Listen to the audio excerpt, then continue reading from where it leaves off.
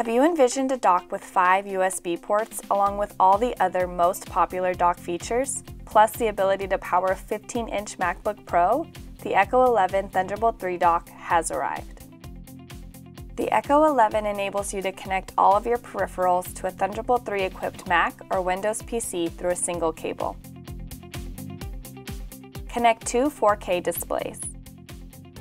Connect to cable modem or a wired network.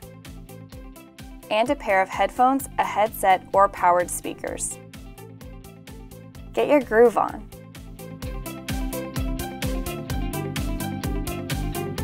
With five USB 3.0 ports to choose from, yes, you heard that right, five, plug in your hard drives, flash drive, keyboard, and microphone.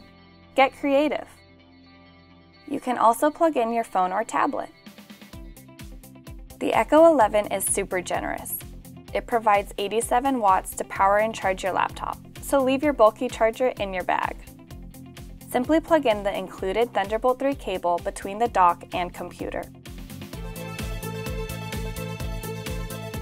If you have a camera that uses SD cards, the Echo 11 has a slot for those too. So you've got to check out our Echo 11. Sonnet's Thunderbolt 3 dock with 87 watts of charging power and plenty of ports for connecting all of your wired devices. Please visit our website at sonnettech.com for more information.